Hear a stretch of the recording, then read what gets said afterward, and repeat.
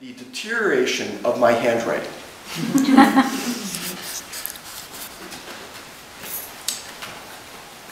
I got a D in handwriting in the third grade. I'm an old man now. That failure continues to haunt me. I saved all the letters from girls who said they loved me. As I look back on them, I can tell the ones I liked by the handwriting alone.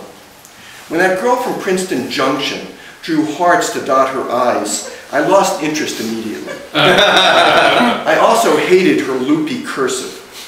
Tiny, precise script in real ink on elegant paper gave me deep pleasure, not scent, sealing wax, color, or watermark.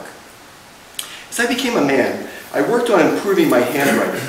Its sloppiness infuriated me. It was too revelatory. I stopped writing letters on pilfered bank deposit slips. I sprung for better pens. I adjusted my thinking to maximize the purity of my hand. The better my handwriting got, the straighter I stood. I filled a thousand avid notebooks. I took a mistress. My handwriting became my immaculate paramour. But recently, I've noticed I can no longer hold a pen with brash panache. My journals have become slapdash embarrassments. I open them to random ugliness. I don't have the solace of the integrity of the handwritten alphabet.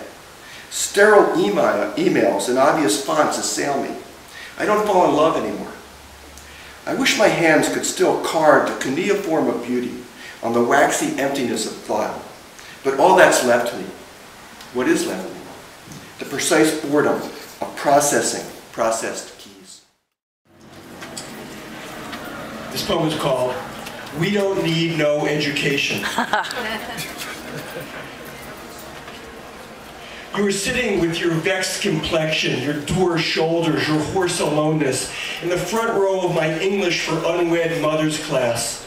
And I hadn't yet read your essay on miscarriages of injustice, nor had you read Montaigne's that men are justly punished for being obstinate in the defense of a fort that is not in reason to be defended. And it wasn't yet Thursday, 2004, when we would be sitting on the curb in front of the sick communion cafe, where you were telling me the body is a tabernacle of bliss and blister. And the smile on my face was palpably inapt. And I blurted out, there's an ill energy that emanates from your precise heart that I find attractive. To which you replied, editing me with a surgeon's cruel disinterest, you mean I have an attractive ill energy? And I said, yes, that's what I mean, though that wasn't at all what I meant. and the sun was pursuing the moon in an ineffable dance of unlikelihood and redress. And you were wearing your father's shoes, though I remember thinking what large feet you had, learning later that that was unfair and untrue, learning later that your heart, like all hearts, was fuzzy, not precise, that your candor was a sham, that you were neither a mother nor unmarried, that my interest in you was usury, not interest at all, that I was a man not in full, but in foolishness, a false Montaigne, whose chin beard, though elegant, was the merest bravado. Well, the city rises in me. Cities, cities, I have lived in cities, habitual, arrogant, cities circumscribed by cities on the alert for alacrity, filled with false vitality, rising revised out of history, burgeoning cities bloated with stoic pride, notorious for hope, filled with ethical travail. These cities, yes, but also cities reticent, inferential, embedded with desuetude. A decade here, a decade there, to what end? position. Man needs locus, not looseness in his life. What's a road? A swift excuse for a city at each end. What is not a city? Nothing. Socrates lived in a city. So did Meyer Lansky. The city rose against them. That's what cities do. They rise, sometimes in us, sometimes against us. The city rises in me. I hear its whisper. I ignore its roar.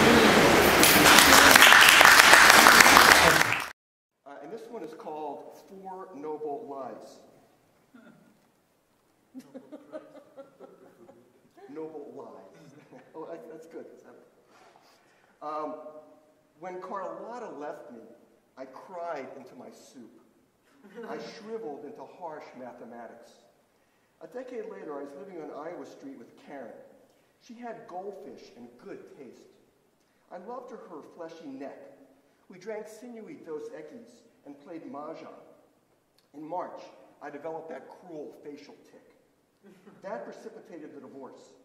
At the thought of losing her, my heart contracted into a span. But I knew one day I'd replace her with a brutally neutered cat.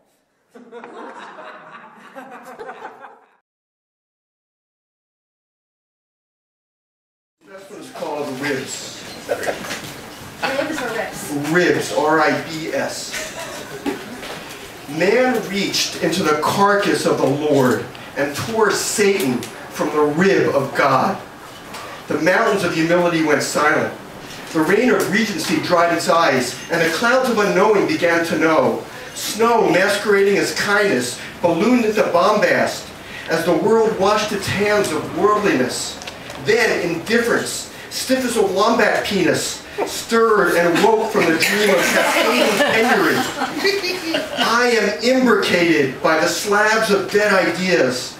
I am teased by vaults of no gold. Ghosts hold me to votes I disavow. There is a formidable hole in the latent sky. It takes all my strength not to worship it. Thank you.